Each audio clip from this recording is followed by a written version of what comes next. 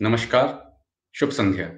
Very good evening to all मैं विवेक जैन, अधिवक्ता परिषद मध्य भारत प्रांत का उच्च न्यायालय इकाई ग्वालियर का अध्यक्ष।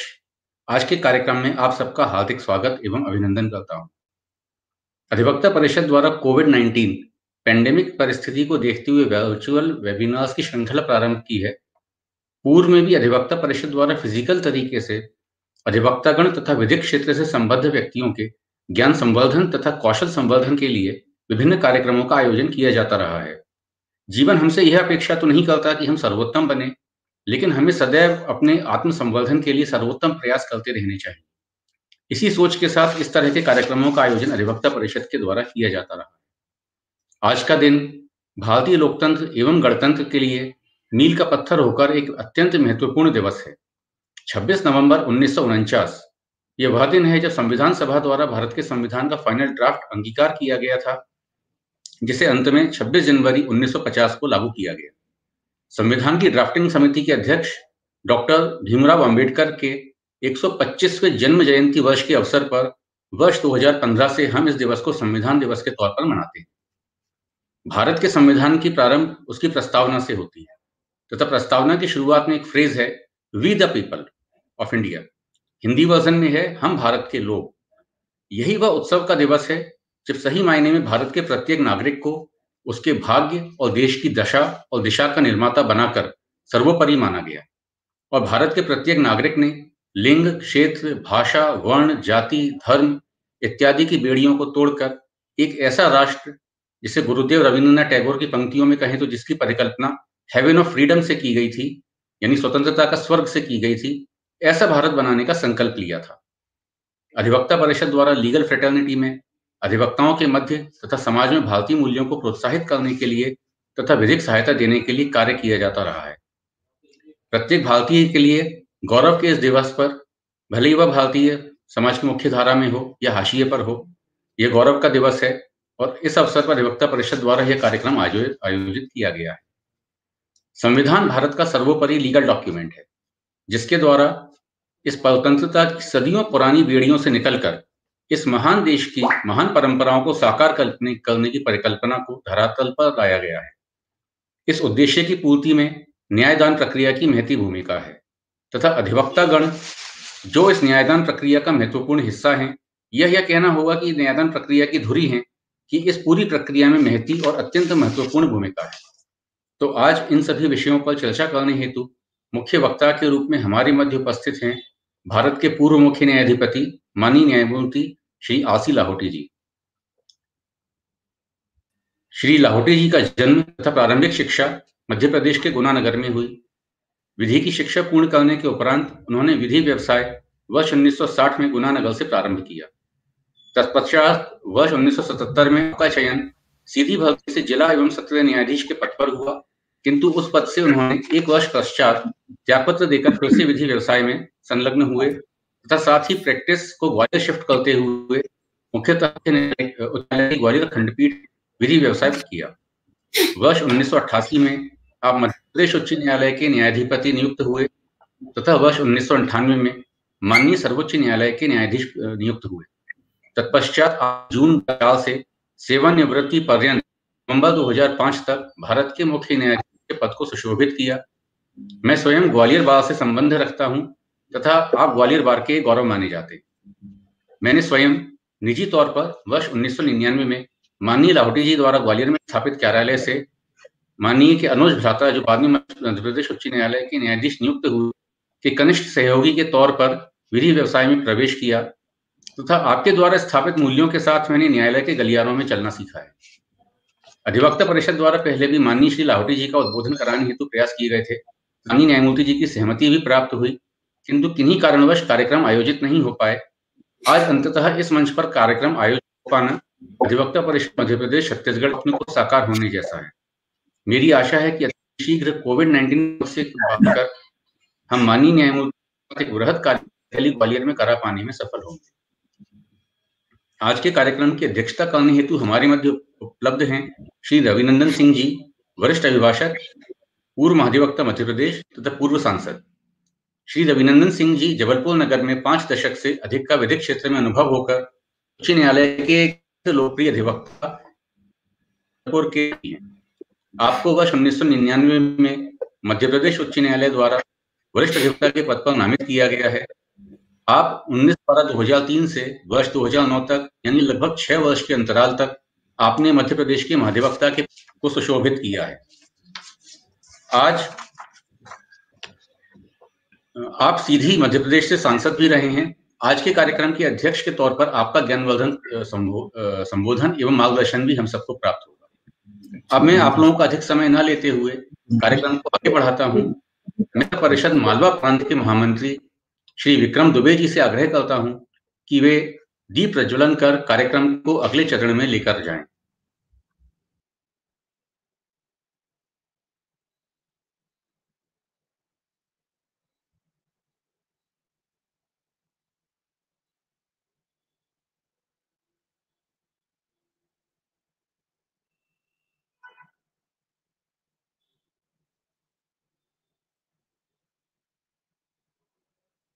भारत माता की जय। वंदे मातरम।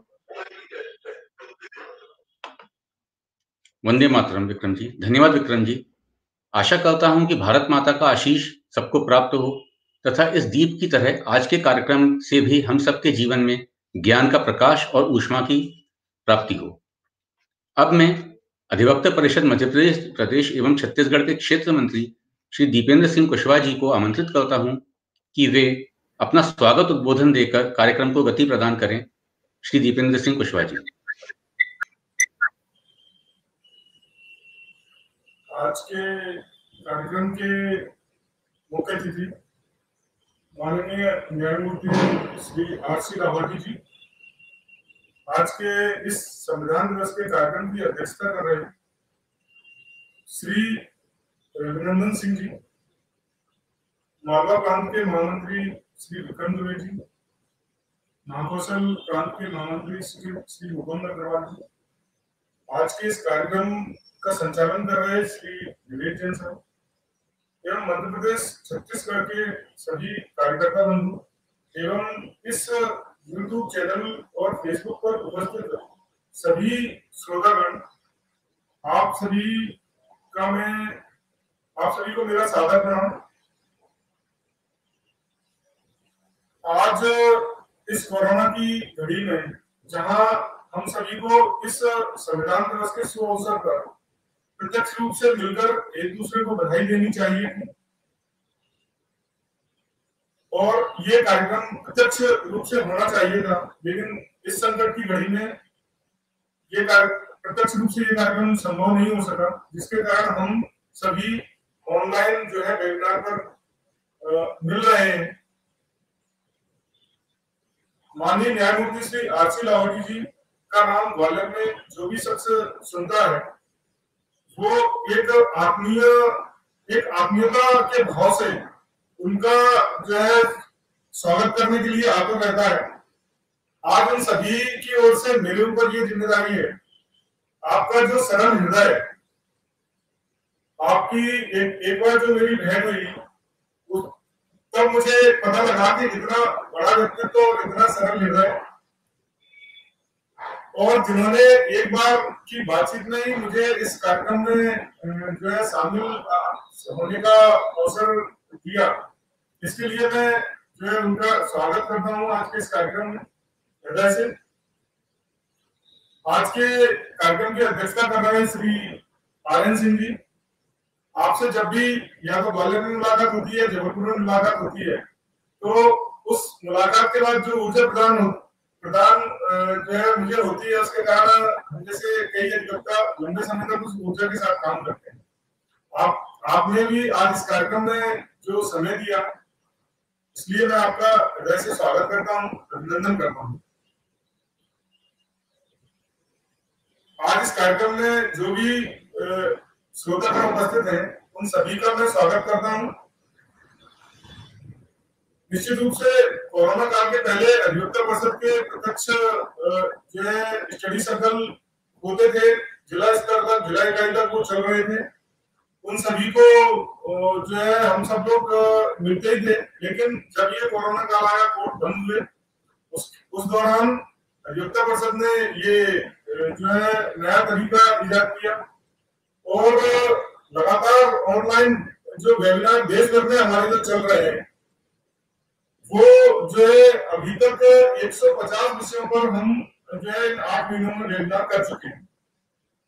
चाहे जो है लंदन में बैठे हुए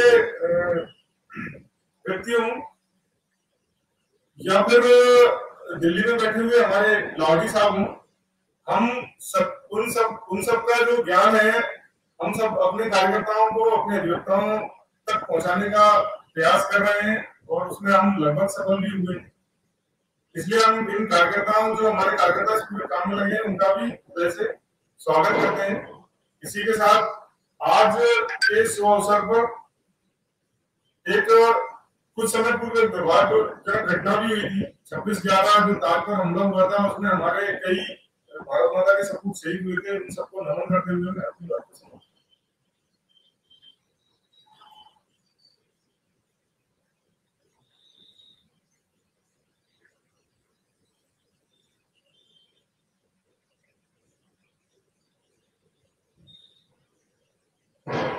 धन्यवाद सुरेंद्र जी। आपका उद्बोधन निश्चय ही हम सबके लिए लाभकारी होगा तथा परिषद के समस्त कार्यकर्ता गण को और सभी को प्रेरित करेगा। तो अब वो घड़ी आ गई है जिसकी सबको बेसब्री से प्रतीक्षा थी। अब मैं आमंत्रित करता हूँ मानी न्यायमूर्ति श्री आसी लाहौटी जी को कि वे आकर अपने उद्बोधन से हम सभी का ज्ञान संवर्धन करें और सबको लाभान्वित करें।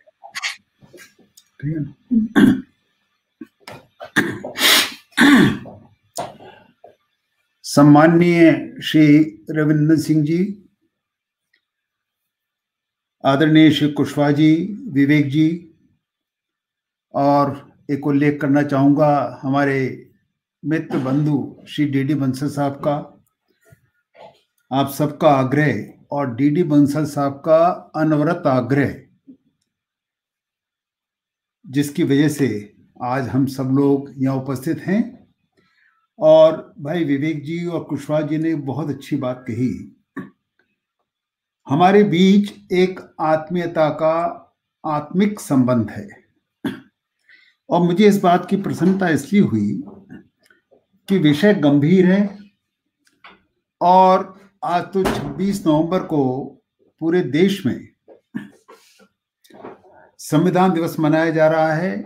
अभी साढ़े तीन से साढ़े पाँच तक उच्चतम न्यायालय में भी मनाया गया।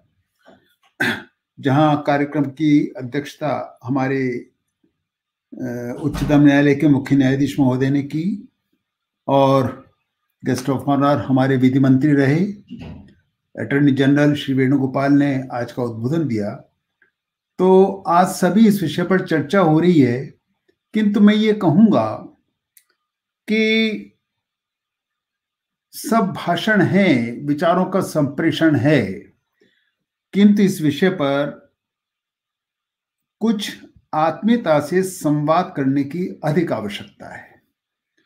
और जिस प्रकार हम आज विषय में प्रवेश ले रहे हैं, मैं प्रयत्न करूँगा कि हम बहुत औपचारिक ना होकर के कुछ अनौपचारिक रहें और बहुत बड़ी नहीं कुछ छोटी छोटी बातें ऐसी करें कि जिनका ज्ञान होना हमें बहुत आवश्यक है।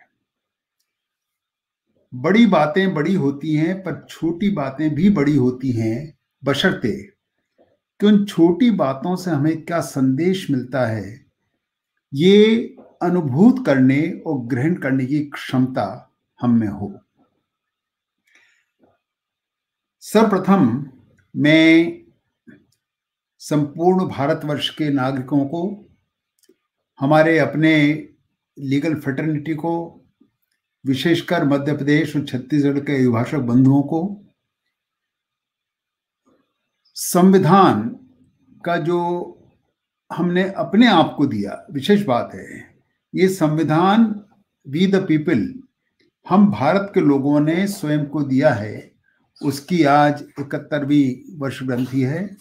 इस पर आप सबको बहुत बहुत बधाई देता हूँ। और ये दिन ऐसा है जो निसंदेह एक उत्सव का दिन है। उत्सव की तरह से मनाया जाना चाहिए। किंतु कोरोना की छाया में हम जितना जैसे स्मरण कर सकते मना सकते हैं, वैसे हम मना रहे हैं। विषय पर चर्चा करने के पहले, हमारा आज का विषय है कि संविधान अधिवक्ताओं को क्या संदेश देता है। भारत के संविधान का संदेश अधिवक्ताओं के लिए। तो जिससे हम संदेश प्राप्त कर रहे हैं, सबसे पहले हम उसका परिचय प्राप्त करें। कई लोगों के मन में आता है कि ये विधि दिवस क्या है, संविधान दिवस क्या है। भाई विवेक जी ने इस ओर संकेत दिया, कुशवाहा जी ने भी समर्थन किया। तो मैं ये चाहूँगा कि सबसे पहले हम संविधान से मुलाकात करें। और संविधान से मुलाकात करें तो संविधान का पहला पन्ना हम खोलें उसकी झलक पाने के लिए। आपने अनेक बार भारत के संविधान की उद्देशिका पढ़ी होगी प्रेमबल टू द कॉन्स्टिट्यूशन मैं चाहूँगा कि हम सब इसे एक बार एक साथ पढ़ें। मैं आप सबकी ओर से इसे पढ़ता हूँ। संविधान की उद्देशिका ही कहती है, हम भारत के लोग, भारत को एक संपूर्ण प्रभुत्व संपन्न समाजवादी पंथ निरपेक्ष लोकतंत्रात्मक गणराज्य बनाने के लिए तथा उसके समस्त नागरिकों को। अब इस पर गौर कीजिए। न्याय। कौन से न्याय? सामाजिक, आर्थिक और राजनीतिक न्याय। फिर स्वतंत्रता। बहुत कहते हैं, हम तो आज़ाद हैं आज़ाद हैं। कौन सी आज़ादी? विचार अभिव्यक्ति, विश्वास, धर्म और उपासना की स्वतंत्रता। जो मनचाहा सो करने की स्वतंत्रता नहीं। ये स्वतंत्रता इन पाँच शब्दों के दायरे में बंधी हुई है। विचार, अभिव्यक्ति, विश्वास, धर्म और उपासना। समता इक्वलिटी कौन सी? प्रतिष्ठा और अवसर की समता।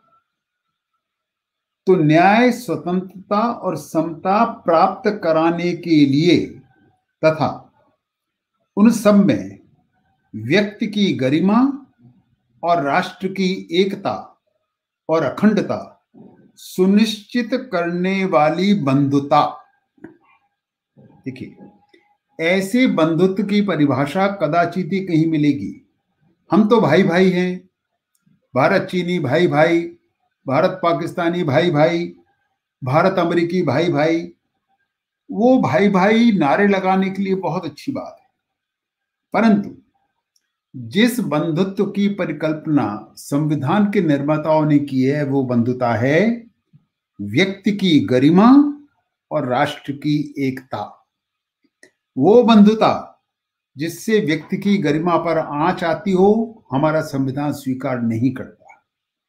वो बंधुता जिससे राष्ट्र की एकता और अखंडता पर आँच आती हो, उसको सुनिश्चित करने में कहीं भी संदेह उत्पन्न होता हो, ऐसी बंधुता को भी हमारा संविधान स्वीकार नहीं करता।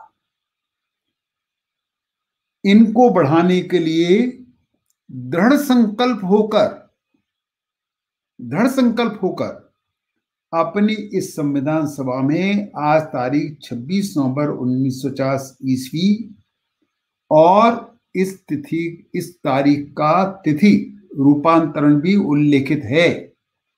को एक द्वारा इस संविधान को अंगीकृत, अधिनियमित और आत्मसमर्पित करते हैं। इस जब संविधान रचा गया, मैं इस संविधान की उद्देशिकाओं को मैंने दो कारण से पढ़ा। एक तो इस संविधान की उद्देशिका, ये एक चाबी है, जो एक देश कीमती संग्रह को खोलती है। इसलिए मैंने इसे पढ़ा। और दूसरी बात, इस विषय में प्रवेश लेने के लिए संविधान की उद्देशिकाओं को पढ़ना आवश्यक है, इसलिए मैंने उसे पढ़ा। अब आइए इसमें दो तीन मैं आपको रोचक बातें संविधान की उद्देश्य के बारे में बता दूँ, फिर हम आगे बढ़ते हैं। ये आपको कहीं मिलेंगी नहीं। कुछ मिलेंगी, पर इसका संपूर्ण रूप मैं आपके सामने फिर भी बहुत थोड़े प्रस्तुत करना चाहता हूँ।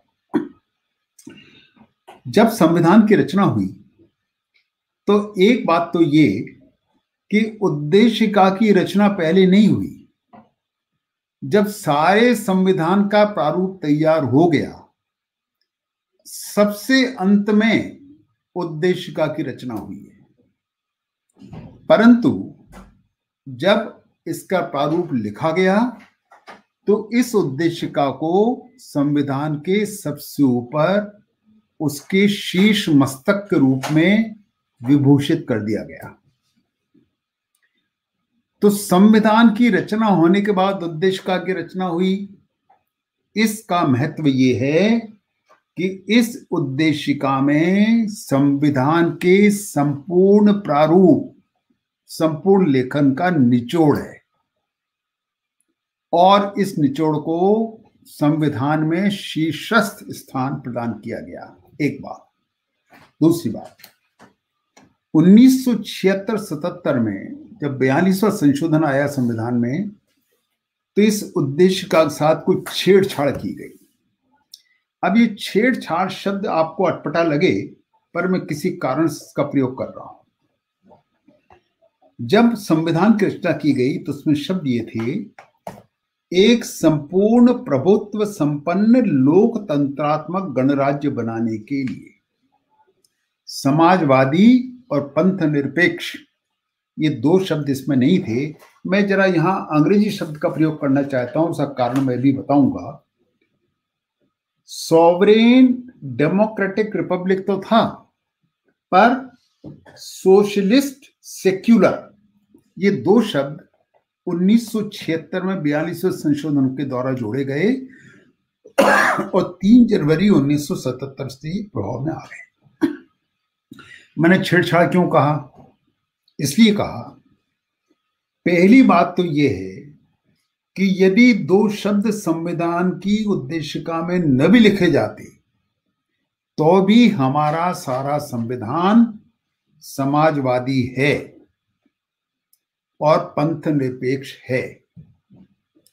और क्षमा कीजिए, जिस दिन से ये दो शब्द जोड़े गए हैं संविधान के उद्देशिका में क्यों जोड़े गए? संविधान की रचना का उद्देश्य बहुत अलग था। हमने ब्रिटिश शासन से मुक्ति पाकर अपने लिए संविधान रचा और स्वयं को आत्मसमर्पित किया। परंतु समाजवादी शब्द जोड़ करके इसमें एक विशेष विचारधारा को थोपने का प्रयास किया गया। और इसके जो परिणाम हुए हैं वो आगे का इतिहास बताता है, जहाँ आवश्यक हुआ चर्चा करेंगे या कभी और करेंगे। पर एक बात की चर्चा करना चाहता हूँ, वो है पंथ निरपेक्ष। हुआ ये ये बड़ी रोचक कहानी है ये। जब ये संशोधन हो गया तो इसका प्रारूप अंग्रेज़ी में था। Secular secular. तो सेक्युलर का जब अनुवाद हुआ तो अनुवादकर्ताओं ने इस सेकुलर का हिंदी अनुवाद किया धर्मनिरपेक्ष। तत्कालीन प्रधानमंत्री डॉक्टर लक्ष्मण सिंघवी का बहुत सम्मान करती थी। तो उन्होंने डॉक्टर लक्ष्मण सिंघवी को बुलाकर ये कहा कि हम इसका अनुवाद, हिंदी अनुवाद तैयार कर रहे हैं और सेक्युलर को हम धर्म निरपेक्ष लिख रहे हैं। डॉक्टर सिंघवी ने कहा कि आप गलती कर रहे हैं। हमारा संविधान धर्म निरपेक्ष नहीं है। धर्म निरपेक्ष शब्द का प्रयोग मत कीजिए। इसे आप पंथ निरपेक्ष लिखिए। अर्थात, संप्रदाय को प्रोत्साहन हमारा संविधान नहीं देता। किंतु, किसी भी धर्म को प्रचार प्रसार में कहीं हमारा संविधान रुकावट नहीं डालता। अब ये धर्म शब्द की व्याख्या पर थोड़ा सा मैं आने का प्रयास करूँगा। तो डॉक्टर लक्ष्मण सिंघवी ने जो संविधान की मूल प्रति है, जिसमें इसका अनुवाद धर्मनिरपेक्ष रखा, किया गया था, उनके तत्कालीन प्रधानमंत्री ने यह कहा कि डॉक्टर साहब, आप संतुष्ट हैं कि अनुवाद सही पंथ निरपेक्ष होगा धर्म निरपेक्ष नहीं होगा? डॉक्टर सिंह ने कहा, मुझे पूरा पूरा विश्वास है। प्रधानमंत्री महोदय को डॉक्टर सिंघवी का भरोसा था। डॉक्टर सिंघवी ने अपने हाथ से धर्म काट करके पंथ लिखा है, ये संविधान की मूल प्रति इस बात की गवाह है। और ये बहुत महत्वपूर्ण है। जब जब संविधान की व्याख्या होती, हुई है या होगी। यदि इस छोटी सी घटना को याद रखा जाए तो जब जब धर्म की चर्चा होती है और धर्म निरपेक्षता, सिकुलरिज्म की चर्चा होती है, वहाँ यदि हम पंथ निरपेक्ष कहते हैं तो हम सेक्युलर हैं। पर जब हम धर्म निरपेक्ष कहते हैं तो हम सियोडो सेकुलर होते हैं। वो धर्म निरपेक्षता, हमारी आत्मघाती धर्म निरपेक्षता होती है। संविधान का विकल्प पाठ धर्म निरपेक्षता नहीं सिखाता, संप्रदाय पंथ निरपेक्षता सिखाता है। इस बात को ध्यान रखना होगा। तीसरी बात। संविधान की जो उद्देश्य का है, मूल में इसमें इक्यासी शब्द थे 81 वर्ड्स। और 81 वर्ड्स का महत्व है, जो लोग न्यूमरोलॉजी में विश्वास रखते हैं, इक्यासी पूर्णांक है, आठ धन एक बराबर नौ। उसका भी एक महत्व होता है। तो जो तब तक 1976 में उद्देशिका के इक्यासी शब्दों के कारण जो इसमें पूर्णता थी, उसके साथ कुछ छेड़छाड़ हो गई। मैं उद्देशिका के बारे में इतना ही कह करके थोड़ा आगे चलना चाहता हूँ। आवश्यक हुआ तो इस विषय पर फिर लौट करके आएँगे। संविधान के विषय में कुछ विशेष बातें हैं जो हम सबको जानना चाहिए। और ये क्यों जानना चाहिए? हमारा आज का विषय यह है कि संविधान के निर्देश अधिवक्ताओं के लिए, संविधान के संदेश अधिवक्ताओं के लिए और अधिवक्ताओं को संविधान से अपनी भूमिका कैसे निर्धारित करना चाहिए, इस पर चर्चा करना है। तो एक प्रश्न उत्पन्न होता है। कभी कभी ये कहा जाता है कि आज़ादी तो मिल चुकी, पर आज़ाद होना अभी बाकी है। आज़ादी मिल चुकी, पर आज़ाद होना अभी बाकी है। ऐसा मैं क्यों कहता हूँ? मैं आप सबसे एक प्रश्न पूछता हूँ। हमने उद्देशिका को पढ़ा। उद्देशिका कहती है कि भारत के नागरिकों को सामाजिक, आर्थिक और राजनीतिक न्याय मिलना चाहिए। हम अपने आप से एक प्रश्न पूछें और स्वयं को उत्तर दें, क्या आज प्रत्येक भारतवासी को सामाजिक, आर्थिक और राजनीतिक न्याय मिल चुका है? आज़ादी को सत्तर वर्ष से अधिक हो जाने के बाद भी हमारा आज का मतदाता ये नहीं जानता कि वो किसे मत दे रहा है और क्यों दे रहा है। वो मत दे या ना दे। अधिकांशतः हमारे मतदान 50 से 70 प्रतिशत के बीच में रहता है। आज भी 100 प्रतिशत नागरिक मतदान के अधिकार का प्रयोग नहीं करते और जो प्रयोग करते हैं वो ये नहीं जानते कि वो किसे मत दे रहे हैं और क्यों दे रहे हैं। क्या हमको धर्म उपासना की स्वतंत्रता प्राप्त हो गई है? क्या हमको प्रतिष्ठा और अवसर की समता प्राप्त हो गई है? मैं थोड़ा सा एक कड़ी भाषा का प्रयोग कर रहा हूँ। मुझे गाँव में जाने का शौक है, शहर छोड़कर के कभी कभी गाँव जाता हूँ या अवसर मिलता है तो मैं गाँव में अच्छी तरह देखता हूँ। मैं विश्वास पूर्वक ये बात कहना चाहता हूँ कि स्वतंत्रता के सत्तर वर्ष बीत जाने के बाद भी हमारे गाँव के, गाँव में मनुष्य आज भी पशु से बदतर जीवन जीने के लिए विवश है। क्या हमने इसीलिए आज़ादी की लड़ाई की थी? और महात्मा गांधी, भगत सिंह, राजगुरु सुखदेव, अशफाकुल्ला और सुभाष चंद्र बोस जैसे लोगों ने अपने जीवन को होम इसी के लिए किया था कि आज़ादी के सत्तर वर्ष के बाद भी इंसान इंसान की तरह नहीं जिएगा इस देश में? ये कुछ प्रश्न हैं जो हमें अपने आप से पूछना चाहिए, विशेषकर अधिवक्ताओं को। और इसलिए कहता हूँ कि आज़ादी मिल गई पर आज़ाद होना बाकी है। क्यों? क्यों? कि घिरे हैं हम सवालों से कि अब जवाब चाहिए। घिरे हैं हम सवालों से कि अब जवाब चाहिए। और जब जवाब ही बन गए हों सवाल तो इनकलाब चाहिए। यदि जवाब ही सवाल बन गए हों तो फिर आज़ादी की ज़रूरत है। इनकलाब चाहिए। अभी एक आज़ादी का संघर्ष और बाकी है। आज जो राजनीतिक स्थिति है, ये हम तय नहीं कर पाते कि राजनीति का अपराधीकरण हुआ है या अपराध का राजनीतिकरण हो गया है? आ, एक संस्था है शायद उसका नाम है society for democratic reforms in India उसने पाँच खंड में अपना संग्रह प्रकाशित किया है। आज़ादी के बाद आगे बढ़ते बढ़ते आज हमारी राजनीति पूर्णता अपराधीकरण की तरफ़ बढ़ गई है और सुप्रीम कोर्ट के निर्णय के अनुसार प्रत्येक उम्मीदवार जब अपनी पूरी जानकारी शपथ पर इलेक्शन कमीशन को देता है तो उसमें लिखता है कि उसके विरुद्ध कितने मामले चल रहे हैं और कितने मामलों में से सजा हो चुकी है। एक अपराध में दंडित होने के उपरांत सजा काट रहा व्यक्ति सरकारी नौकरी नहीं कर सकता। अनेक योग्यताएँ उसमें लागू हो जाती है, पर सांसद बन सकता है, विधानसभा का सदस्य बन सकता है, हमारा भाग्य विधाता भी बन सकता है।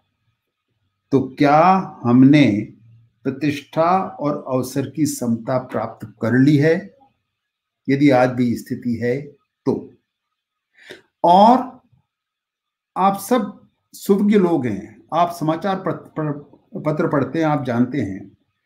जेल में व्यक्ति बंद है और चुनाव जीत जाता है। वो कोई प्रचार प्रसार नहीं करता। कोई कैनवेसिंग नहीं करता। जेल में बैठा हुआ जीत जाता है। बंदी है। गंभीर, जघन्य अपराध में बंदी है। उसकी जमानत भी नहीं हो रही। परंतु चुनाव जीत जाता है। और कई लोग तो अभी अभी मैं कल कल ही मैं जी पर देख रहा था। एक बहुत बड़े नेता जेल में बंद हैं। वो जेल में बैठ कर के चुनाव का संचालन कर रहे हैं। लोगों को मंत्री बना रहे हैं, उनसे मंत्री पद का त्याग करवा रहे हैं। खुद जेल में बंद है। प्रश्न हमको अपने आप से करना है कि संविधान में जिस स्वतंत्रता और समता की अपेक्षा की गई है, क्या वो हमें प्राप्त हो गई है? अब हम थोड़ा संविधान की कुछ ऐसी बातें देख लें, जिनका सामान्यता आपकी चर्चा नहीं होगी और सामान्यता शायद इसकी जानकारी आपको न मिले, पर मुझे कुछ बातें बड़ी अच्छी लगती हैं। एक बार मुझे दो तीन साल हुए, एक, आज के दिन, विज्ञान भवन में हमारे देश के मुख्य न्यायाधिपति जी के नेतृत्व में मुझे मैं निमंत्रण मिला था आज का की नोट एड्रेस देने के लिए तो मैंने कुछ जानकारी इकट्ठा की थी। मैं आपको बताऊँ आपको। ये जो हमारा संविधान है, देखिए हमको कितनी भ्रांतियाँ हैं संविधान के विषय में। या भ्रांतियाँ तो नहीं, जो वास्तविकता है, हमें ज्ञात नहीं है। मैं आपको दो, चार, छह तथ्य बता करके बताना चाहता हूँ कि हमारा संविधान विश्व की महानतम कानूनी दस्तावेज़ है, legal document. The largest, biggest, and significant document of the entire world, the Constitution of India. परंतु ये हमारी सांस्कृतिक चेतना और जागृति का संवाहक है इस बात की चर्चा कोई नहीं करता और मैं आज इस बात की चर्चा आपके सामने करना चाहता हूँ देखिए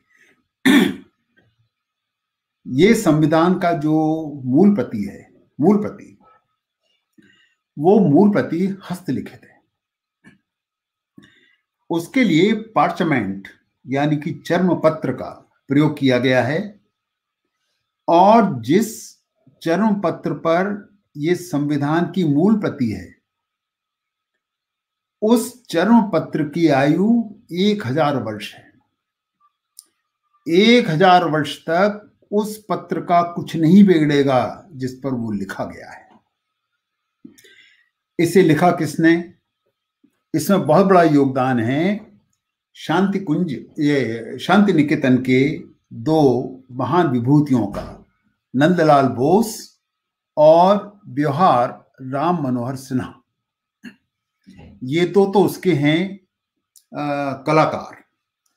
और लिखावट है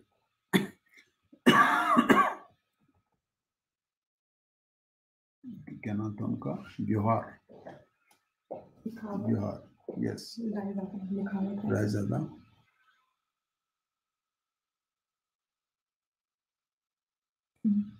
हाँ। प्रेम बिहारी नारायण रायजादा इन्होंने अपने हाथ से पूरा संविधान लिखा है। ये संविधान कैलीग्राफी में लिखा गया है अंग्रेज़ी और हिंदी दोनों में। श्री प्रेम बिहारी नारायण रायजादा ने इसको कैलीग्राफी लिखने के लिए होल्डर, यानी वो वो कलम जिसमें निब लगाया जाता है, आप लोगों ने देखा होगा पहले 432 निब का इस्तेमाल किया गया। 303 नंबर की 432 निब इस्तेमाल हुई। छह महीने में ये पांडुलिपि लिखी गई। जिसे आज हम कॉन्स्टिट्यूशन हॉल कहते हैं संसद का, वहाँ छह महीने तक रह करके उनने ये काम किया। ये निब एक होल्डर में लगाई जाती थी और शाही की दबात में डुबा डुबा करके इसे इसे लिखा जाता था। छह महीने तक एक स्थान पर बैठ करके लिखने वाले इन महाशय ने एक पैसा भी प्रेम बिहारी जी ने नहीं लिया।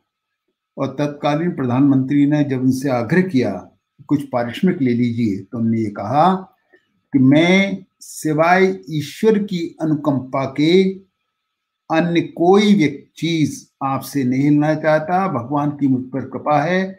मैं जीवन में प्रसन्न और संतुष्ट हूँ। मेरे पास सब कुछ है। बस यदि आप करना चाहते हैं तो एक काम कर दीजिए। वो ये कि संविधान की जो पांडुलिपि है, उसके हर पृष्ठ पर मेरा नाम लिखा जाएगा। उनका नाम लिखा गया। और अंतिम पृष्ठ पर उनके और उनके दादा का नाम भी लिखा गया है। वो व्यक्ति चाहे जितना पैसा ले लेता, किंतु इन श्री रायजादा का नाम संविधान की पांडुलिपि के हर पृष्ठ पर लिखा गया है। इसका परिणाम यह है कि जब तक भारत का संविधान रहेगा, तब तक उनका भी नाम संविधान के साथ जुड़ा रहेगा। प्रेम बिहारी, नारायण रायजादा का और जब तक संविधान रहेगा, वे भी रहेंगे। उनका और उनके दादा का नाम अमर रहेगा। एक बात, अब दूसरी बात, वो बहुत महत्वपूर्ण है। लिखावट से ज़्यादा महत्वपूर्ण है। देखिए मैंने आप बताया कि नंदलाल बोस और व्यवहार राम मनोहर सिन्हा, इन्होंने संविधान की पांडुलिपि के प्रत्येक पृष्ठ पर कलाकारी की है, अर्थात अपनी लेखनी से कुछ स्केच बनाए हैं। नंदलाल बोस को कालांतर में उन्नीस सौ तिरपन में उनकी सेवा के लिए पद्म विभूषण से सम्मानित किया गया।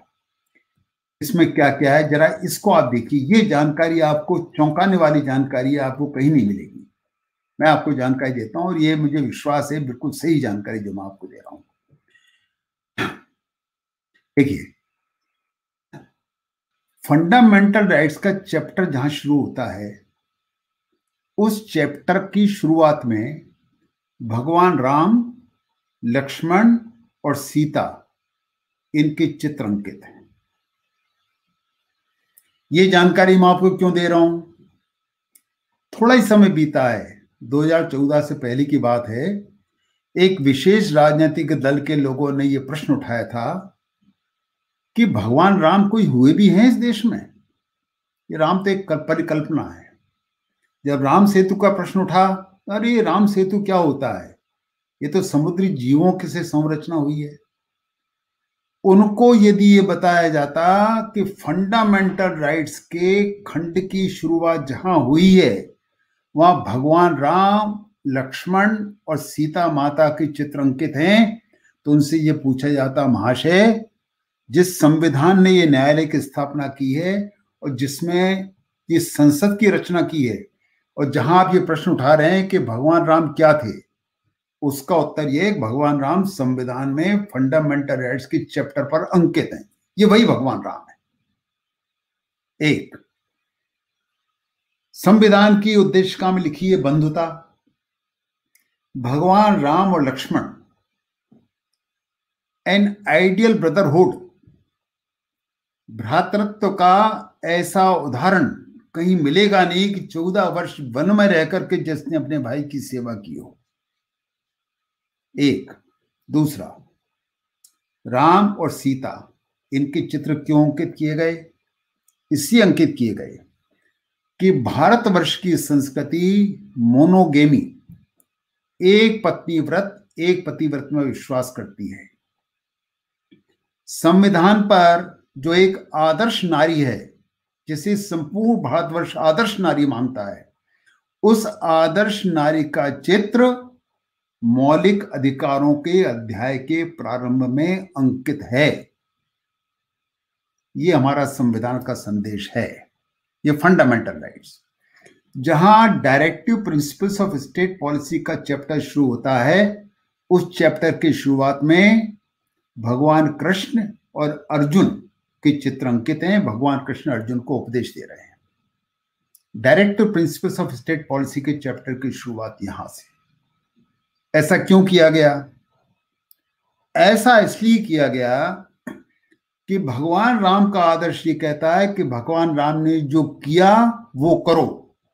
इसलिए फंडामेंटल राइट्स और भगवान कृष्ण ने जो किया, वो मत करो।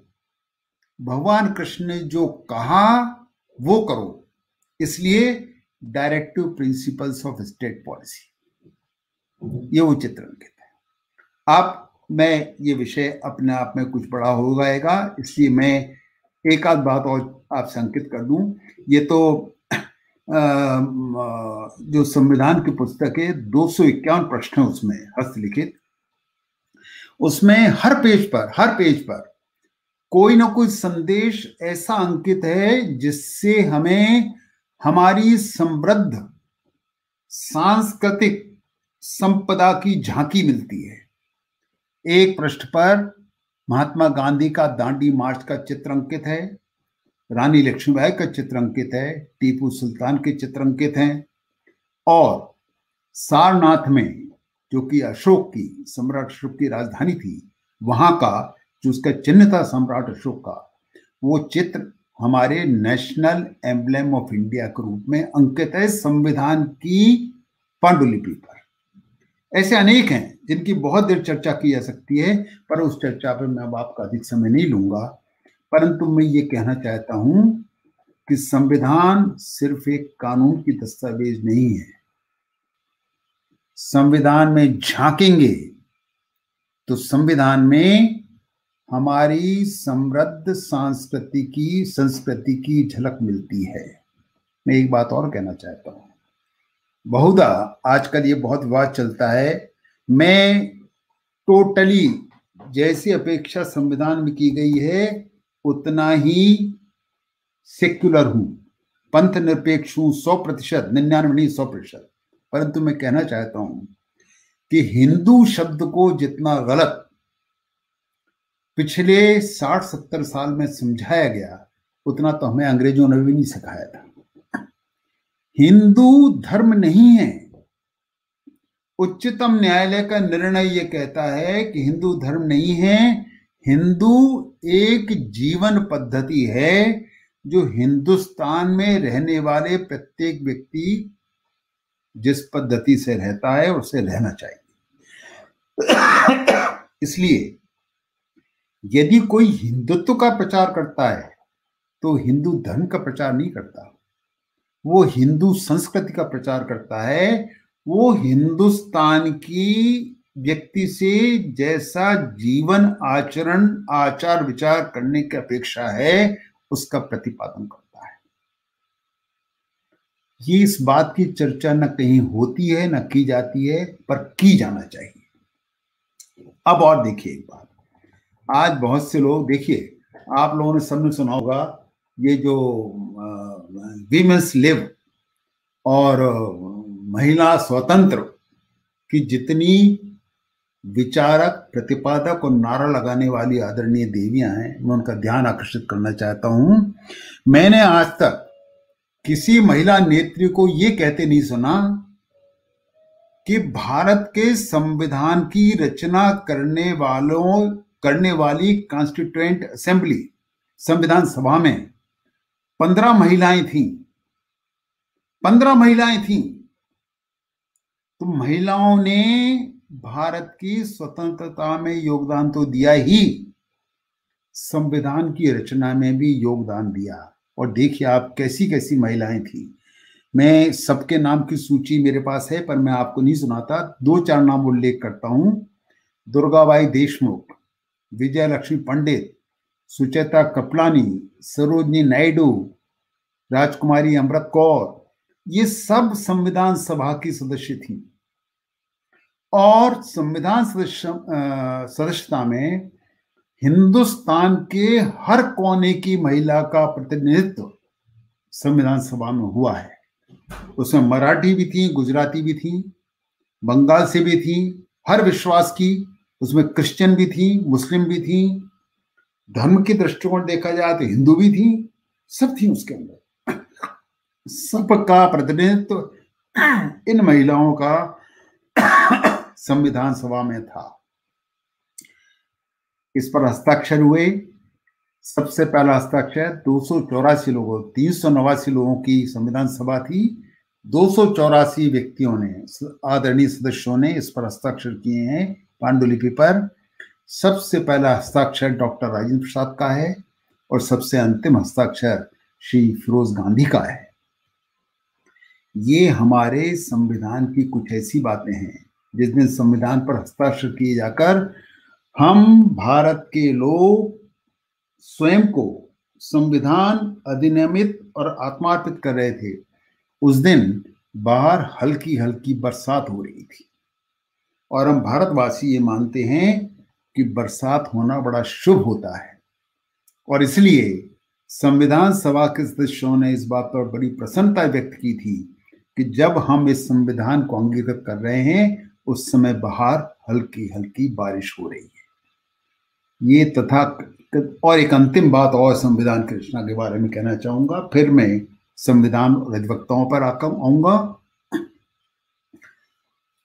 हमारा संविधान एक ऐसा संविधान है जिसने संपूर्ण विश्व में जितनी बड़ी बड़ी डेमोक्रेसीज थी, प्रजातंत्र थे, उन सब के संविधानों का अध्ययन किया। और सबके संविधानों में से जो अच्छा था, उसे चुन करके अपने संविधान में उसका समावेश कर दिया हमारी ऋग्वेद की ऋचा कहती है, आनो भद्दा कतरो यंत विश्व विश्वतः। आनो भद्रा क्रत्वो यंत। विश्वतः। Let light let noble thoughts come to us from all sides, from all directions. हमारे संविधान का निर्माण इस बात का संदेश देता है उसकी रचना संविधान रचना। हम भारतवासी इस बात में विश्वास रखते हैं कि ज्ञान का प्रकाश किसी भी दिशा से आए हमें स्वीकार है। हमारे साथ कोई अहम नहीं है। हम ये दम्भ नहीं करते कि हम जैसा विद्वान दुनिया में कोई नहीं है। हम तो ये कहते हैं, ज्ञान का प्रकाश चाहे अमेरिका से आए, चाहे इंग्लैंड से आए, चाहे ऑस्ट्रेलिया से आए, चाहे कनाडा से आए, जर्मनी से आए या जापान से आए, हम उसे स्वीकार करते हैं। और उनके आलोक के प्रकाश में, उनके ज्ञान के आलोक में हम आगे बढ़ने के लिए तत्पर हैं। हमारे संविधान के ये जो संदेश हैं, ये आपको एकाएक कहीं नहीं मिलेंगे। किंतु आज विवेक जी ने और कुशवाहा जी ने मुझे ये कह दिया कि आत्मीयता की बातचीत करना है तो कुछ आत्मीयता की बातचीत करने के दृष्टिकोण से मैंने आपको ये बातें कही। अब मैं ये कहूँ, मुझे दिए समय के अंतिम दस मिनट में कि संविधान का संदेश अधिवक्ताओं के लिए क्या है? देखिए मैं स्वयं अभिभाषक रहा, मेरे पिताजी अभिभाषक रहे, मेरे छोटे भाई अभिभाषक रहे, उनके पुत्र अभिभाषक हैं। तो हमारी तीन जनरेशन अभिभाषकों की हो चुकी है। मैंने अभिभाषक को बहुत निकट से अध्ययन किया है। जिन लोगों ने आज़ादी के लिए संघर्ष किया, उनमें अनेक वकील थे। संविधान सभा में जिनने संविधान रचना की, उनमें अनेक वकील थे। और आज संविधान का पालन हो सके। जिस दिन संविधान अंगीकृत हो रहा था तो उस समय संविधान सभा के दो सदस्यों ने, डॉक्टर राजेंद्र प्रसाद और डॉक्टर अंबेडकर ने वक्तव्य दिए थे। उन दोनों ने ये कहा था कि ये संविधान एक पुस्तक है, कोई जीवित व्यक्ति नहीं है। इस पर निर्भर करेगा कि संविधान को पालन कराने का उत्तरदायित्व भारत की जनता किनके हाथों में सौंपती है? यदि भारतवर्ष के नेता, चरित्रवान, कर्तव्यनिष्ठ और देश की सेवा के लिए समर्पित होंगे तो इस संविधान काम करेगा। किंतु यदि अन्यथा हुआ तो इस संविधान असफल हो जाएगा। ये बात, इतिहास इस बात का साक्षी है, डॉक्यूमेंटेड है ये चीज़, डॉक्टर राजेंद्र प्रसाद और डॉक्टर अंबेडकर दोनों ने ये बात कही थी। मैं विवादास्पद विषय पर अधिक नहीं बोलूँगा, किंतु इतना सूत्र आपको देकर के ये कह देना चाहता हूँ कि इसका परीक्षण कीजिए। यदि कभी ये प्रश्न होता है कि हमारा संविधान सफल हो रहा है या असफल हो रहा है तो इसका उत्तर जानने के लिए डॉक्टर राजेंद्र प्रसाद और डॉक्टर अंबेडकर के वक्तव्य पढ़िए अभिभाषण। संविधान से, संविधान की अभी अधिवक्ताओं से क्या अपेक्षा है, उसके कारण है। अधिवक्ताओं की कुछ विशेषताएँ होती हैं।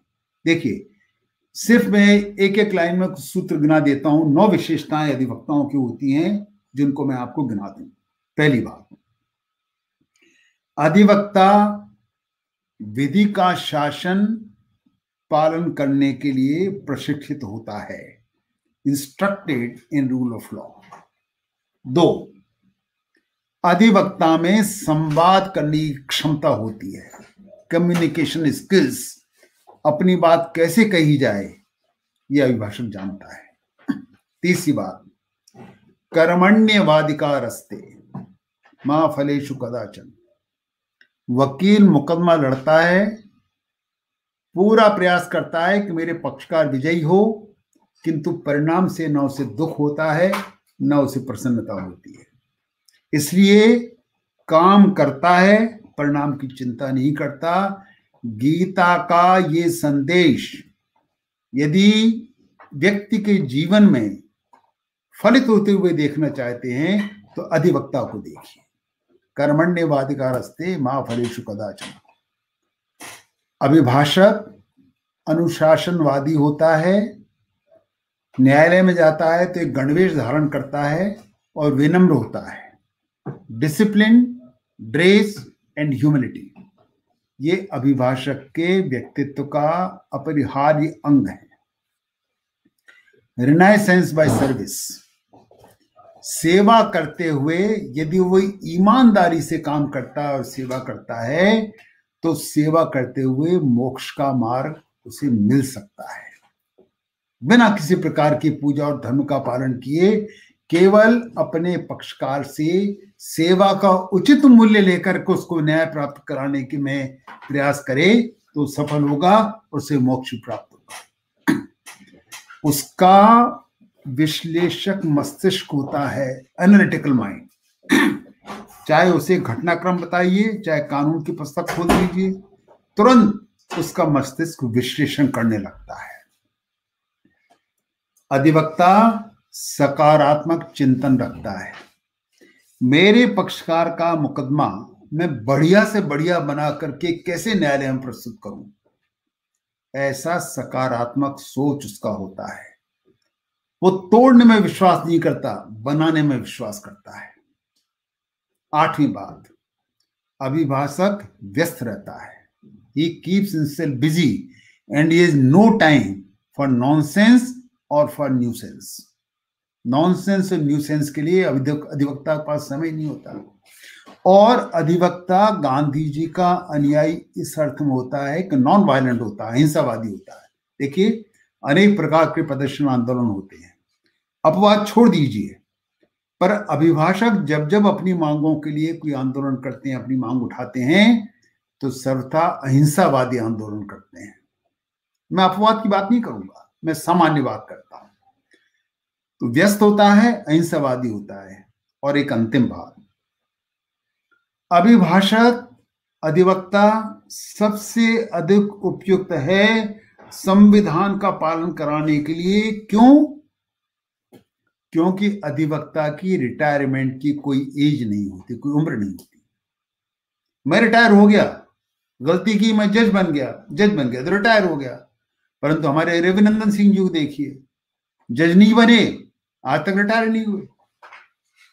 अंतर यह है कि अधिवक्ता कभी सेवा मुक्त नहीं होता, वह अंतिम दिन तक काम करता है।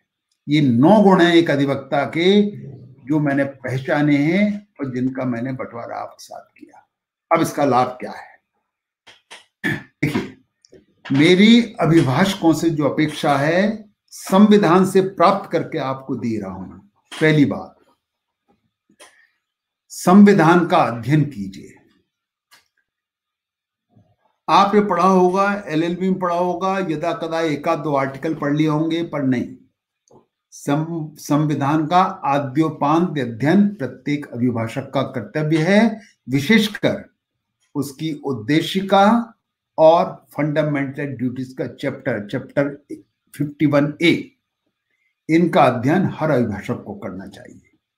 दूसरी बात, संविधान के अध्ययन से भी महत्वपूर्ण यह है the history of constitution and the freedom fight of India स्वतंत्रता संग्राम का इतिहास और संविधान की रचना का इतिहास, इसका वो अध्ययन करें। एक कहावत होती है those who do not learn from the history are condemned to repeat it इतिहास का अध्ययन नहीं करते तो इतिहास दोहराता है। ये आज़ादी जो हमने पाई, ये बहुत बेशकीमती है। हज़ारों, लाखों लोगों ने अपनी जान दी है। हज़ारों माताओं, बहनों को सिंदूर उजड़ गया। इसकी रक्षा करना हमारा कर्तव्य है और इसकी सबसे बड़ी ज़िम्मेदारी अधिवक्ता समाज की है। आप संविधान पढ़िए, संवैधानिक इतिहास पढ़िए, स्वतंत्रता संग्राम का इतिहास पढ़िए, तदनंतर इसका प्रचार और प्रसार कीजिए। आज भी भारत में अशिक्षा और अज्ञान का बोलबाला है, किंतु अभिभाषक हैं जो प्रयत्न करके अज्ञान और शिक्षा को दूर कर सकते हैं। तीन, चौथी बात और अंतिम बात। संविधान को जीना सीखिए। लिव बाय द कॉन्स्टिट्यूशन जो संविधान का संदेश है, प्रत्येक अधिवक्ता उसे ग्रहण करे, आत्मसात करे और संवैधानिक मर्यादाओं के साथ जीवन यापन करना सीखे। और यदि अधिवक्ता यह कर सकता है तो अपने समाज के लिए एक आदर्श बन सकता है। A role model to the society अभिभाषक की बात में बड़ा वज़न होता है, चाहे न्यायाधीश हो चाहे अभिभाषक। हो विधि व्यवसाय से जुड़े हुए प्रत्येक व्यक्ति का समाज में सम्मान होता है और समाज के लोग उसकी बात को गंभीरता से सुनते हैं और ये मानते हैं कि एक जानकार आदमी ने हमसे कुछ कहा है, एक अनुभवी व्यक्ति ने हमसे कुछ कहा है तो हमें उसे मानना चाहिए। इसलिए जो एक सोशल कमांडिंग एक लॉयर के पास होती है जज के पास होती है, वो अन्य किसी के पास नहीं होती, चाहे कोई भी व्यवसाय हो। इसलिए अपनी इस ईश्वर प्रदत्त क्षमता और गुण का उपयोग अभिभाषकों को करना चाहिए और समाज में चेतना जागृत करना चाहिए। अब ये तो हुई वो बात जो संविधान का संदेश है, किंतु एक अनुरोध मैं आपसे करना चाहता हूँ। भारतवर्ष की राजनीति तब तक स्वच्छ और निर्दोष रही, जब तक नेतृत्व और राजनीति पर अधिवक्ताओं का नियंत्रण रहा, उनकी पकड़ रही। जब तक उनकी पकड़ रही, राजनीति में गंदगी का प्रवेश नहीं हुआ। और आज आप देख लीजिए, वकील तो आपको इन्हें गिने मिलेंगे राजनीति में, और उसका परिणाम ये हो रहा है कि आज राजनीति वैसी हो गई है जैसी आप देख रहे हैं। बस, इससे अधिक मैं कुछ कहना नहीं चाहता। अधिवक्ताओं को मेरा आमंत्रण है, प्रोत्साहन है और परामर्श है कि उन्हें राजनीति में आना चाहिए और समाज और राजनीति पर अपनी पकड़ मज़बूत करना चाहिए और जिस दिन ये हो जाएगा, राजनीति का शुद्धिकरण हो जाएगा। मैं आपका बहुत आभारी हूँ। चालीस मिनट का समय बंसल जी ने मुझे सूचित किया था कि विवेक जी कुशवाहा जी, इनने मिलकर के तय किया कि मुझे चालीस मिनट बोलना चाहिए। लगभग चालीस मिनट का समय मैंने लिया। मैं बहुत आभारी हूँ कि आपने मेरी बातों को सुना। मैं कोरोना का काल विवेक जी ने संकेत दिया। मैं तो इस कोरोना को वरदान मानता हूँ, एक तरह से एक अर्थ में, एक अर्थ में। और इसलिए कि हम लोग कितनी चीज़ों को जोड़ते हैं कहाँ कहाँ भागते रहते हैं, कोरोना ने बता दिया कि ये सब बेकार है। सादा जीवन, सादा भोजन, उच्च विचार रखो, समय का पूरा पूरा सदुपयोग सदुपयोग करो। और जो लोग ये कर रहे हैं, वे कोरोना से बचे हुए मैं बचा हुआ हूँ। ईश्वर की कृपा से। पर ये सब बातें मैं करता हूँ, समय का पूरा उपयोग करता हूँ, व्यस्त रहता हूँ, सादा भोजन करता हूँ, अच्छे लोगों के साथ बातचीत करता रहता हूँ, कोरोना से बचा हुआ हूँ। मैं आज की बात समाप्त करूँगा। एक गुलजार की बड़ी बड़ी प्रेरक नज्म है और जो आज के समय के लिए बहुत प्रासंगिक है, उसे मैं आपके साथ बांटना चाहता हूँ।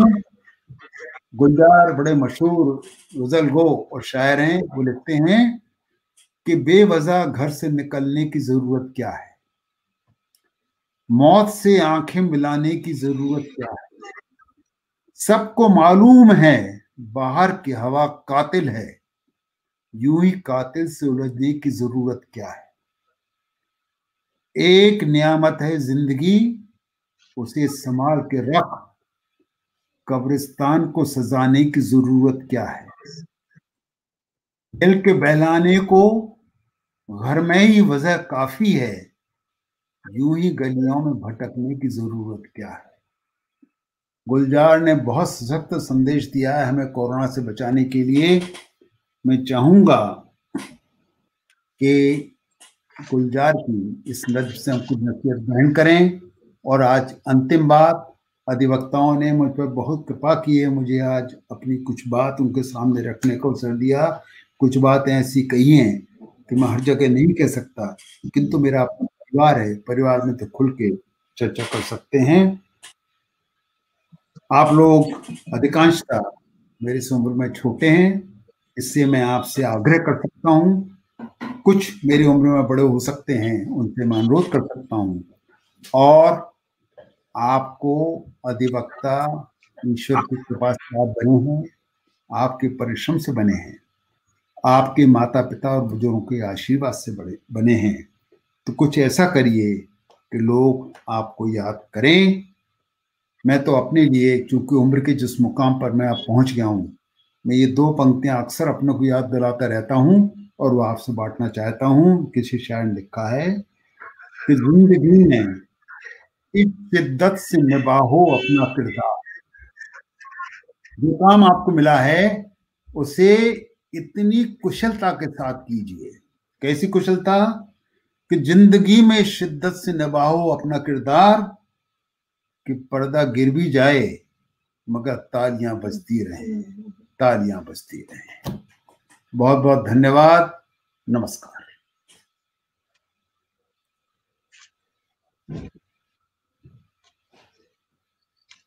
बहुत बहुत धन्यवाद। मानी न्यायमूर्ति लाहौटी जी, सदैव की तरह आपने अपनी स्टाइल में सारगर्भित ज्ञानवर्धक विचार उत्तेजक शब्दों से निश्चय ही समस्त अभिभाषकों को और समस्त श्रोतागण को ज्ञान प्रकाश से आलोकित किया है।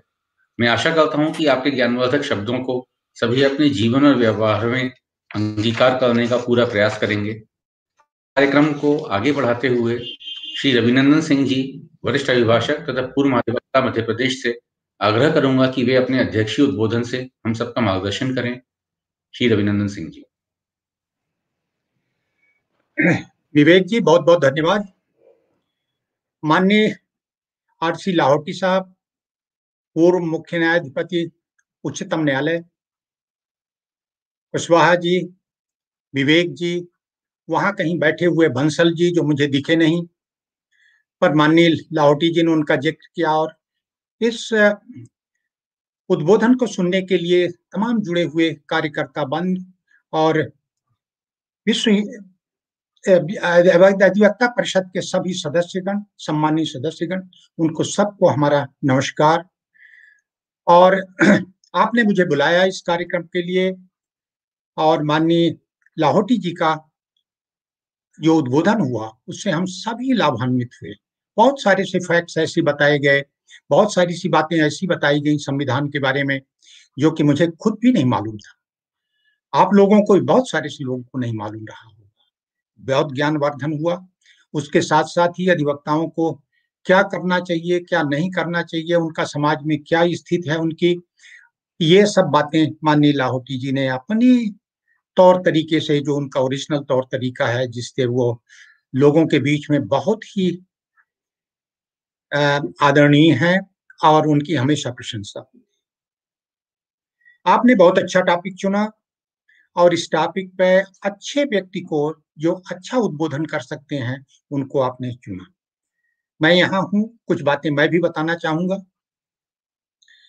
अभी माननीय Lahoti ji original document constitution का है, उसके बारे में बता रहे थे और व्यवहार राम मनोहर सिन्हा साहब का ज़िक्र आया।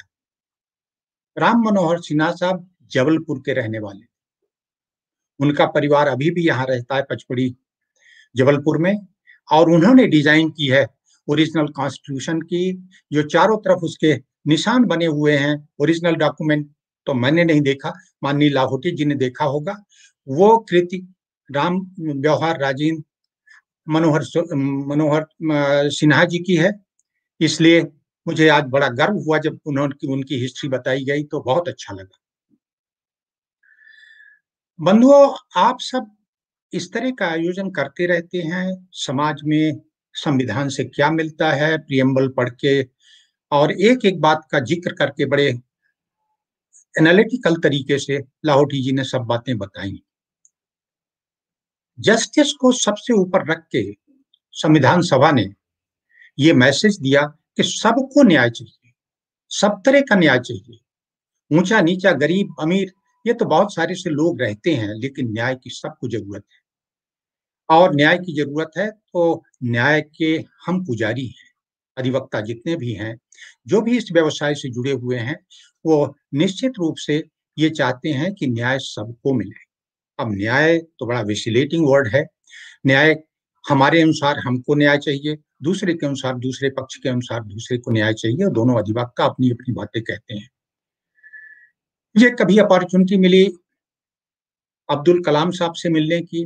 उन्होंने मुझसे पूछा कि भाई, आपको जब मालूम रहता कि एक पक्ष उचित है, दूसरा पक्ष अनुचित कर रहा है तो आप उसका क्या उसका वकालतनामा क्यों लेते हैं? मैंने कहा कि मुझे तो ये मालूम है कि सही कौन है, गलत कौन है। बोले, ये नहीं मालूम है, बहुत सारे से लोग तो तुरंत बता देते हैं कि भाई, मैंने ये मर्डर किया फिर भी लोग लेते हैं, वकील लोग उनका, उनकी पैरवी करते हैं। किन परिस्थितियों में किया उसने मर्डर? क्या परिस्थितियाँ थी? प्रलोभन में किया? आवेश में किया? गुस्से में किया? किस किस वजह से किया? अब ये सब पहलू हैं अलग अलग तो कई बार समाज में ये भी भ्रांति व्याप्त है अधिवक्ताओं के बारे में कि अधिवक्ता तो सिर्फ़ इंगेज कर लीजिए आप। न्याय दिलाने का उनका मतलब यह है कि एक बार अधिवक्ता हो गया तो वो आपको न्याय दिला देगा। और वही सही न्याय है। क्योंकि हर व्यक्ति अपने तरीके से न्याय पाना चाहता है। क्या हमारा आपका दायित्व तो संविधान के तहत ये है? कि हम जो भी हो, उसको हम न्याय दिलाना चाहते हैं। कोर्ट रूम में जो फैसले होते हैं, क्या वो सही फैसले होते हैं? लाहौटी जी को बड़ा लंबा अनुभव है करीब करीब पच्चीस साल का न्यायमूर्ति रहने का। लाहौटी जी बड़े नजदीकी से देखा है इस पार्ट को। हम आप भी देखते रहते हैं। ऐसा लगता है कि वो चीज़ें नहीं होती। दस प्रतिशत, बीस प्रतिशत, पच्चीस प्रतिशत की बातें ऐसी होती हैं तो गवाहियों पर आधारित रहती है। गवाह किस तरह से होते हैं? अभी ज़िक्र कर रहे थे लाहौटी जी कि आज के समाज में नेता लोग क्या करते हैं? मैं राजनीति से भी जुड़ा हुआ नेताओं को और पॉलिटिकल पार्टीज़ को जो एक पर्टिकुलर फिलॉसफी लेके समाज में जाती हैं और चाहती हैं प्रोपोगेट करना उसको उनको तो संख्या चाहिए। तब तो उनकी सरकार बने। इसलिए वो संख्या के पीछे ऐसे लोगों को जो अपराधी हैं, उनको भी शिक्षा देते हैं। ऐसा भी देखने में आया कि शिक्षा हासिल कर देने के बाद कोई व्यक्ति समाज सेवी बन जाता है? नहीं, कदापि नहीं। ऐसे व्यक्ति मिलते हैं जो अनपढ़ हैं, वो शायद शिक्षित और बहुत शिक्षित व्यक्ति से, बहुत पैसे कमाने वाले व्यक्ति से ज़्यादा समाज के लिए उपयोगी है, ज़्यादा बातें बता रहे हैं समाज के लिए और समाज के लिए भरपूर पूरे जीवन पर्यंत अच्छा काम कर रहे हैं। तो ये भी बातें बहुत आती हैं जिनके बारे में हम आप नजदीकी से जानते हैं, जो जो हमारे भाई, अधिवक्ता परिषद से जुड़े भाई जो ज़िले की अदालत में वकालत करते हैं और तहसीली के तहसीलों में वकालत करते हैं उनको और ऐसे व्यक्तियों का आ, सामना करना पड़ता है उनकी समस्याएँ सुननी पड़ती हैं। संविधान हमको मैसेज देता है कि हम तो कानून के अनुसार ही न्याय करना चाहते हैं ये दिलाना चाहते हैं। पर हमारा चरित्र ठीक है क्या? पढ़ लिख के और एविडेंस के अनुसार कोर्ट के सामने प्रस्तुत कर देना ही हमारा कर्तव्य है क्या? संविधान ये नहीं बोलता क्या कि हम हम कौन से कर्तव्य करें? कैसे लोगों को केसेस लें? और केसेस लेके कोर्ट में पैरवी क्या करें? क्या हमारे बोलने की कला से ही न्यायाधीश महोदय प्रभावित हो जाएँगे? कि हमारा व्यक्तित्व तो यदि हम पचास वर्षों तक वकालत करते करते ईमानदारी, निष्ठा प्रोफेशनल इथिक्स इनका सबका परिचय दिया, क्या उसका असर नहीं होगा? कि हम जो आपके सामने लेके आए हैं। वो होगा। आज हमको हमारे अनुसार जो देखते हैं कि अधिवक्ताओं के बीच में, लिटिगेंट्स के बीच में और जो लोग न्याय पाना चाहते हैं, गरीब, नीचे का झुका हुआ आदमी, दो दिन, तीन दिन ऐसे भी क्लाइंट्स हमारे पास आते हैं जो दो दिन, तीन दिन पैदल चल के आते हैं। आज के समय में भी, जिस समाज की रचना के बारे में माननीय लाहौटी जी की सत्तर वर्ष स्वतंत्रता के मिल गए, हो गए, अब इसके बावजूद भी वो क्या जस्टिस उसको मिल रहा है? गरीब आदमी को नहीं मिल रहा। यदि नहीं मिल रहा तो क्या हम आप अवेयरनेस नहीं पहुँचा सकते उन तक? और संवैधानिक अवेयरनेस तो ऊँची बात है। क्या सरकार जो पॉलिसीज़ उनके तहत कानून बनाती है और पॉलिसीज़ बनाती है उनकी स्कीम्स बनती हैं उनके बेनिफिट की स्कीम है उन स्कीम्स को क्या हम उन तक नहीं ले जा सकते? हमारी बड़ी संख्या है। मान्यवल लाहौटी जी जिन बातों का ज़िक्र करें समाज में अभी भी हमारा आदर है। वकील साहब ही कहते हैं लोग वहाँ। कोई वकील कह के नहीं कहता। न्यायपालिका में हमको आपको लर्नर एडवोकेट ही लिखा जाता है। कितने सम्मान की बात है। हमारे आपके लिए। क्या हमारा दायित्व तो नहीं बनता कि हम एक अभियान छेड़ दें? अधिवक्ता परिषद के माध्यम से हम क्या पूरे देश में एक अभियान नहीं छेड़ सकते? हमारी बड़ी संख्या है, वकीलों की। और सम्मानीय लोगों की संख्या है अच्छी। दस, पाँच, पंद्रह, पच्चीस, पचास, सौ लोगों को। ऐसे स्तंभ यदि बन जाए जगह जगह यदि इसके सेंटर्स बन जाए तो हमारे ख्याल से लोगों को बहुत फ़ायदा होगा और ये परिणाम पाँच साल और दस सालों में ही दिखने लगे। बहुत समय, सत्तर वर्ष का समय नहीं लगेगा सरकारें अच्छी योजना ले आती और, पर वो कहाँ चला जाता है पैसा? किस उपयोग में चला जाता है? हमारी मोरल वैल्यूज़ की तो कभी हमने बात ही नहीं की शिक्षा में अपने। हमारे मानव मूल्य क्या है? हमको किन मूल्यों पे आधारित रहना चाहिए? हमको किन मूल्यों मूल्यों के आधार पे अपना जीवन शैली चलाना चाहिए वकालत में काम करना चाहिए? इस पे हमने ध्यान ही नहीं दिया। और ध्यान नहीं दिया कि आज वक्त नहीं आया है? आपने बहुत अच्छा टॉपिक सुना है कि हम संविधान में निहित जो संदेश है, उस संदेश को लोगों तक पहुंचाएँ, न्यायपालिका में पहुँचाए। हम तो स्पष्ट बात नहीं कर पाते न्यायपालिका में। पचास साल की वकालत करने के बाद भी हमको संकोच होता रहता है कि जज साहब, कहीं हमारी बात से नाराज़ ना हो जाए। हम अशिक्षित होकर बात न करें, लेकिन अपनी बात तो करें, सही बात तो करें। हम आगे आने वाली पीढ़ी को क्या संदेश देते हैं? संविधान तो ऐसा बनाया गया है कि जो पचास में बन के आया इंप्लीमेंट हुआ वो संविधान तो वर्षों वर्ष चलता जाएगा। एक हज़ार वर्ष तक की अभी ज़िक्र कर रहे थे माननीय लाहौटी जी। एक हज़ार वर्ष उसकी लाइफ है। कॉन्स्टिट्यूशन ओरिजिनल कॉन्स्टिट्यूशन तो एटलीस्ट उन लोगों ने एक वर्ष कॉन्स्टिट्यूशन फेमर्स थे। उन्होंने एक हज़ार वर्ष तक की इसकी कल्पना की होगी। सत्तर साल में हम वहीं गए हैं क्या? भौतिक परिवर्तन तो हो गया। हम वकीलों के पहले जब आए थे तो यहाँ बड़े स्टॉल वर्ड्स हुआ करते थे वकालत में। G P Singh Vyas Dharmadhikari R S Dabir M Adhikari, बहुत सारे से लोग। अब बहुत अच्छे अच्छे वकील हुआ करते थे। इसी तरह से ग्वालियर बेंच में और इसी तरह से इंदौर बेंच में। उन्हीं की इथिकल वैल्यू क्या थी? आज हमारी इथिकल वैल्यू ये हो गई, कीमत हो गई कि कोई करोड़ में, कोई दो करोड़ में सुप्रीम कोर्ट की बात सुनते हैं। तो इस तरह से होता है हाई कोर्ट में सुनते हैं, पाँच लाख, दस लाख, इस तरह की बात नहीं होती। हमारी कीमत, हमारे वर्ड्स की कीमत और इनकी कीमत क्या करोड़ों में आती जाए? क्या इस पे कुछ हो सकता है? इस पे भी चिंतन करने की आवश्यकता है और छोटी छोटी छोटी छोटी संगोष्ठियाँ बना के उन पे इस पे भी चिंतन होना चाहिए। आगे आने वाली पीढ़ी जब आती है, पाँच साल के कोर्स करके लोग आते हैं, बच्चे आते हैं, वो यहाँ ट्रेनिंग के लिए आते हैं। जब आ तो उनको ऐसा लगने लगता है कि गाउन अच्छा पहन के बड़ी बड़ी गाड़ियों में वकील लोग जाते हैं। जब वहाँ देखते हैं और क्लाइंट से डीलिंग देखते हैं तो ऐसा लगता है कि अरे भाई, ये तो सही तो कुछ नहीं है। ये तो सब बहुत सारी सी बनावटी चीज़ें हैं यहाँ। यथार्थ नहीं है। संविधान में कुछ कहा गया है। हम इस कॉलेज में, अपने कॉलेज में बहुत सारी सी बातें पढ़ के आए पर वो बातें अब दिखती नहीं यदि नहीं दिखती हैं तो क्या हम उनको सही रूप देने का प्रयास कर सकते हैं?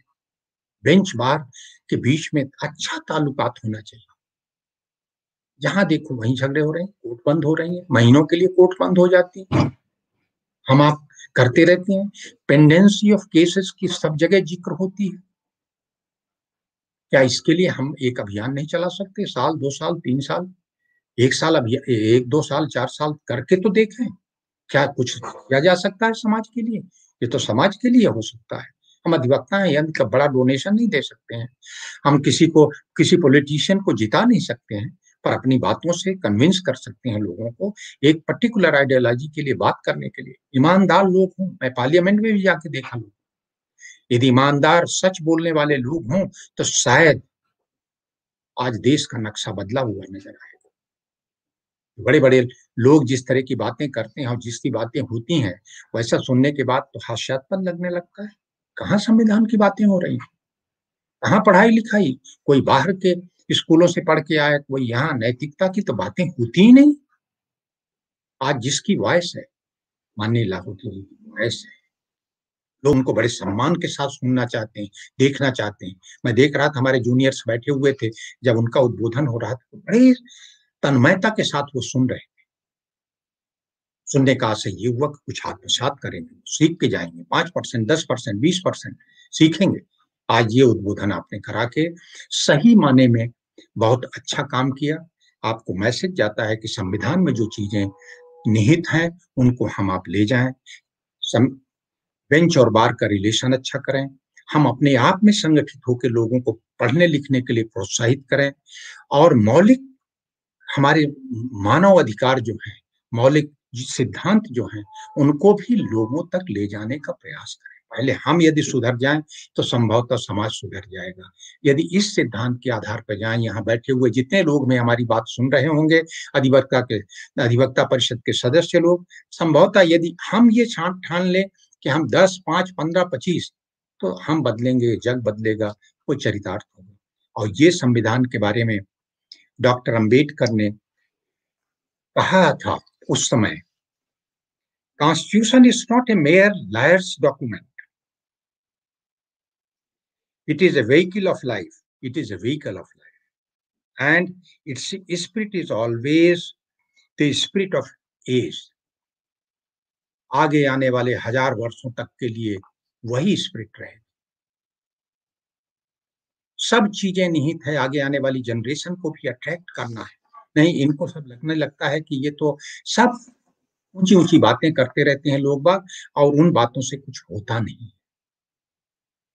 तो मैं आज और ज़्यादा समय नहीं लेके इतना ही कहना चाहूँगा कि इससे ये मैसेज जाना चाहिए, ये मैसेज आप लें कि हमको अपने आप को इथिकल वैल्यूज़ और हमारे संविधान के तहत जो राइट्स एंड ड्यूटीज़ के बारे में ग्रहण किया है, बहुत समय मैं बोलने के लिए कहता रहता हूँ, पर कुछ चीज़ें ऐसी होती हैं जिनको आदमी एडवोकेट्स प्रोटेक्शन एक्ट की बात जब देखो तो अधिवक्ताओं की एक डिमांड रहती है लोग आते हैं, लोग जमुआ बड़ा बना लेते हैं और करने लगते हैं।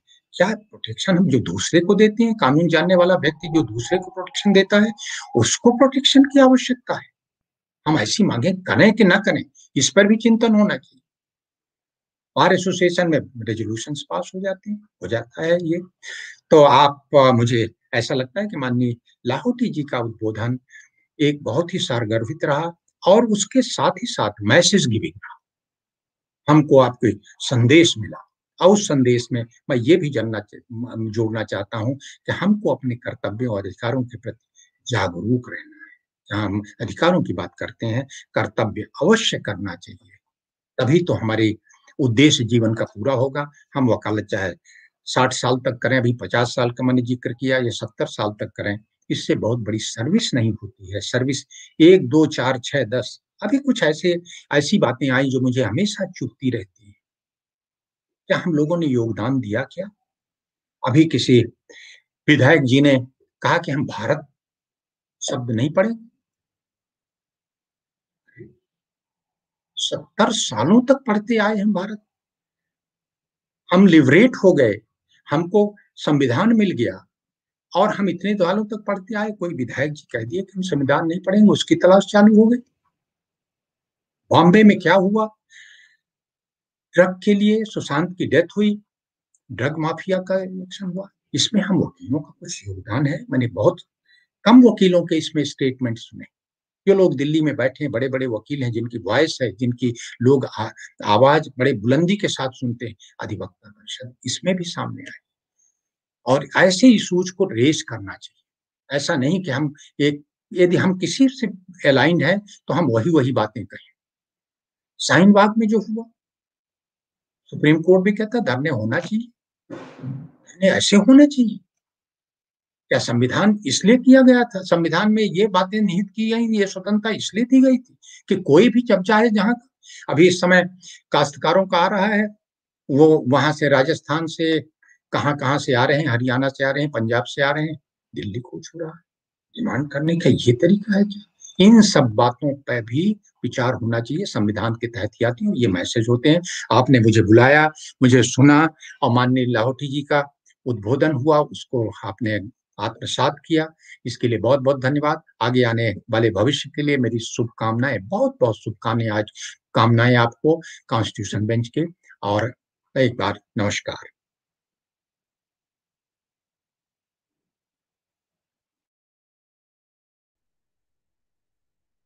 बहुत बहुत धन्यवाद माननीय श्री रविनंदन सिंह साहब।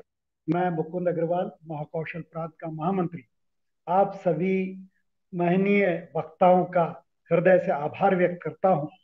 सर्वोच्च न्यायालय के सर्वोच्च पद को सुशोभित करने वाले मध्य प्रदेश के सपूत मुख्य वक्ता माननीय न्यायाधिपति श्री आर सी लोहटी साहब का हृदय से आभार है। उन्होंने अपने अति व्यस्ततम समय में से अपने अमूल्य समय में से हमको समय दिया और इतनी निर्भीकता से इतनी अच्छी बातें हम लोगों के सामने रखी। उनका हृदय से आभार है। सरल और सहज व्यक्तित्व के धनी हमारे मार्गदर्शक, पूर्व सांसद, पूर्व महाधिवक्ता श्री रविनंदन सिंह जी का भी मैं हृदय से आभारी हूँ कि उन्होंने हमको समय दिया और बड़ी निर्भीकता से अपनी बातें रखी। मैं आभारी हूँ माननीय न्यायमूर्ति श्री के के लाहौटी जी का कि वे हमारे सुधी श्रोता के रूप में हमसे जुड़े। न्यायमूर्ति श्री आई एस श्रीवास्तव जी का भी मैं आभारी हूँ कि उन्होंने हमारे सुधी श्रोता के नाते से इस वेबिनार में जुड़ करके और हमारा हौसला बढ़ाया है, उनका बहुत बहुत आभारी हूँ। मैं माननीय बंसल साहब का हृदय से आभारी हूँ कि उनके कारण हमको आज माननीय लाहौटी जी को सुनने का अवसर मिला। मैं हमारे क्षेत्र के मंत्री माननीय श्री दीपेंद्र सिंह जी कुशवाहा जी का भी मैं आभारी हूँ कि उन्होंने ये कार्यक्रम आयोजित करने में हम सबका मार्गदर्शन किया। श्री विवेक जी जैन, जिन्होंने बहुत अच्छा संचालन किया, उनका भी मैं बहुत आभारी हूँ। श्री विक्रम जी दुबे और श्री मोहित शिवहरे जी और सारी टीम, जिनके कारण आज हम सुन सके, इसके लिए मैं सभी का आभारी हूँ। और अंत में मैं आभारी हूँ अपने सारे श्रोताओं का, जिन्होंने आज इस कार्यक्रम को सुना और लाभ प्राप्त किया। पुनः सभी का बहुत बहुत आभार बहुत बहुत धन्यवाद।